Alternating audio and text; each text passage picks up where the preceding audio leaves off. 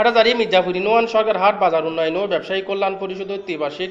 সম্মেলন সম্পন্ন হয়ে গত ছয় নভেম্বর সোমবার রাতিয়ে মির্জাপুর মিতালি ক্লাবর হরমোন মাঝিয়ে সরকার হাট বাজার উন্নয়ন ও ব্যবসায়ী কল্যাণ পরিষদের সভাপতি আলী আকবর চৌধুরীর সভাপতিত্বে আহমদ সাবার সঞ্চালনায় এডে প্রধান অতিথি হিসাবে উপস্থিত আছিল তিন নম মির্জাপুর ইউনিয়ন পরিষদের চেয়ারম্যান আলহাজ নুরুল আফসার।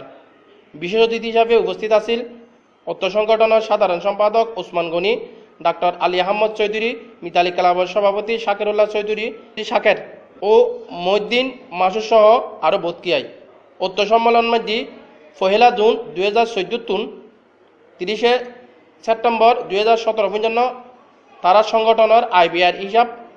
প্রদান করছি। বাজারে তার ত্রিবার্ষিক সাধারণ সভায়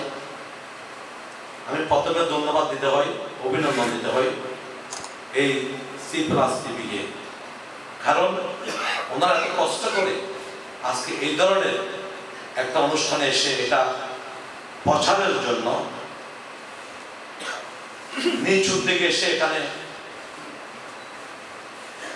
যেই মির্জাপুর ইউনিয়নকে এবং সরকারহাট বাজার ব্যবসায়ীদেরকে সি প্লাস টিভির মাধ্যমে